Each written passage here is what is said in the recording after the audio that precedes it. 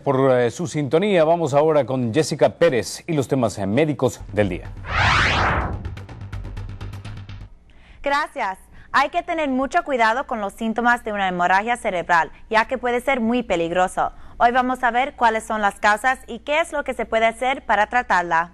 Los médicos dicen que empieza con el peor dolor de cabeza de tu vida. En una hemorragia, la persona sangra en el espacio entre el cerebro y el tejido delgado que cubre el cerebro. Buscar ayuda rápidamente puede ser crítico, pero ¿cuáles son las causas de una hemorragia? Del 10 a 15% de los casos, los médicos nunca encuentran una respuesta, pero la razón más común son las lesiones físicas. Según el Instituto Nacional de Salud, los accidentes automovilísticos son generalmente la causa de este tipo de hemorragia en personas jóvenes. En los ancianos puede ser consecuencia de un golpe en la cabeza provocado por una caída. Otras causas son la ruptura de un vaso sanguíneo, a esto se le llama un aneurisma, también a ciertos trastornos sanguíneos y al uso de cocaína. Además de un dolor de cabeza insoportable, la gente puede sentir una pérdida de conciencia, problemas con la vista, náuseas y vómitos, rigidez de cuello, convulsiones y cambios de humor. Un angiograma, un examen utilizado para visualizar los vasos sanguíneos, se usa frecuentemente para ayudar con el diagnóstico.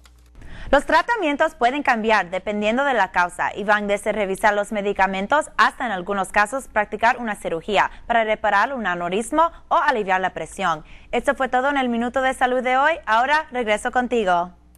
Bueno, gracias eh, Jessica. Tenemos una